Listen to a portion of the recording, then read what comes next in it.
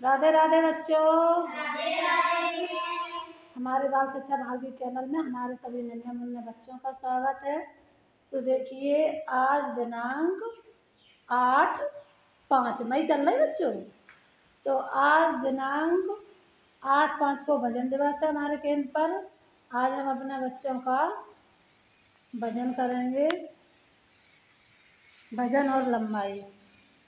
तो देखिए हमारा हर महीना जो वज़न होता है केंद्र पर, हम हर महीने बच्चों का वज़न करने से क्या होता है? कि हमें ये पता चलता है कि हमारा बच्चा सही दिशा में चल रहा है कि नहीं, वज़न इसका बढ़ रहा है या घट रहा। तो इसलिए हम हर महीने बच्चे का वज़न करते हैं और उसकी लंबाई करते हैं। छोटे बच्चों की देखिए, ये मशीन है लंबाई की।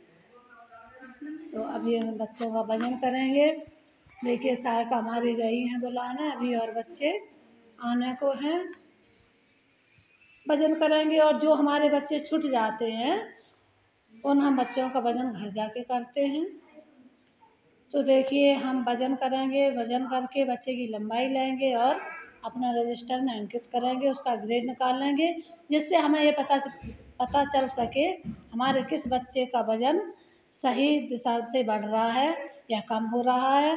हमारा बच्चा स्वस्थ है या अस्वस्थ है? तो हर महीना वज़न करने से हमें ये पता चलता है। उसको हम अपने रजिस्टर में अंकित करते हैं फिर हम उसका ग्रेड निकालते हैं ये सामान में है या पीले में है या कुपोषित है या अतकुपोषित है।